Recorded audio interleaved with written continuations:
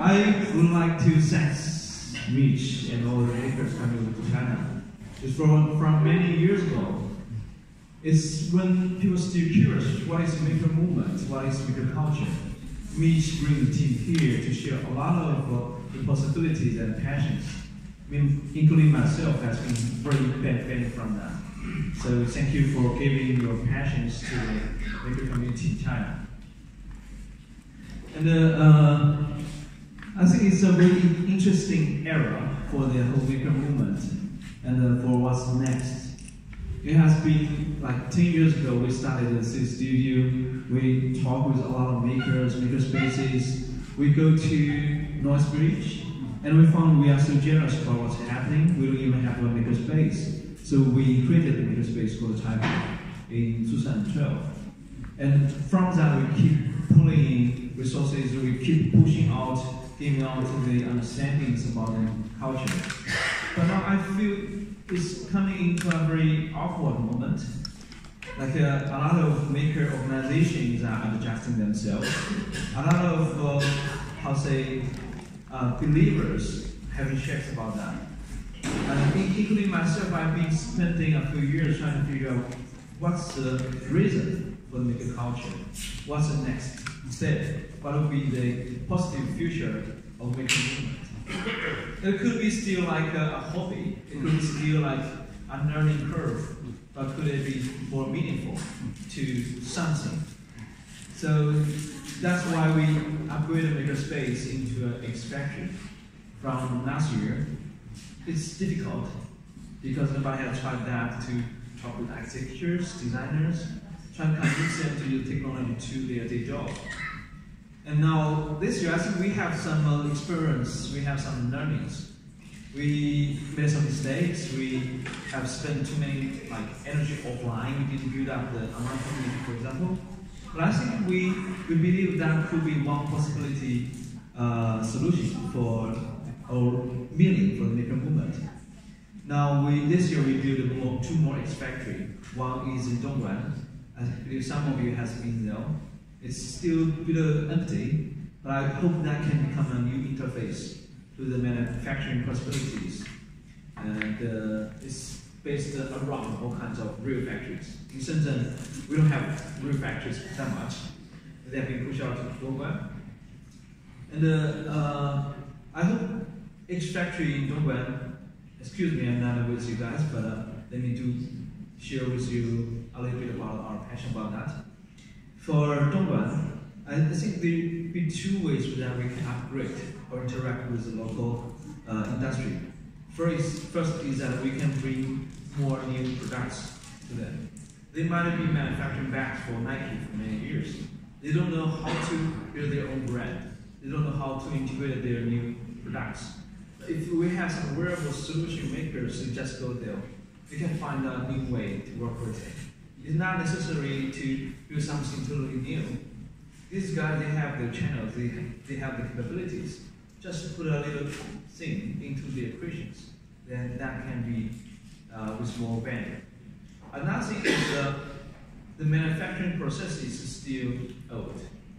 Yes, Germany is talking about how can we have Industry 4.0 to replace human beings.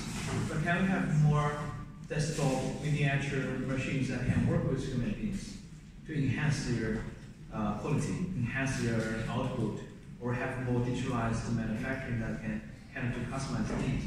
So that's why we are thinking about Dongguan. It's just a starting. So please uh, help us to bring in more people who are interested in that, and it will be open to all the community members. And then secondly, we build a, a maker space, a X factory in Shijiazhuang. Do you know where is Shijiazhuang? So it's uh, the most uh, polluted area of the planet. It's around Beijing. For the last uh, 50 years, it has been contributing all the economies to build the capital of China. So it has a full industrial system from uh, uh, concrete to sand to steel to furniture to everything. So it has been suffering from a lot from the modernizing cities. Now it's been the most polluted place. So we built X factory in the theme of environment. You might there might be people from Switzerland learning environment engineering, but there's nothing you can do there. It's so clean. You can if you fly to Shijiazhuang when you get off the plane, you feel you are in a mission. You, you smell so polluted. So the government has very, the government, the industry has very strong willing to change this. They want they need like better uh, sensor network to have more finer, finer uh, sensor pollutions, measurement of solutions, and they need more like out of the box way to resolve the pollutions. And uh, that's why we build a space and we are inviting from all over the world who has passionate about the environment programs, goes to Shijiazhuang, look at the problems, and look at the people who want to change, give them possibilities, give them new technology, or even give them a different way of thinking.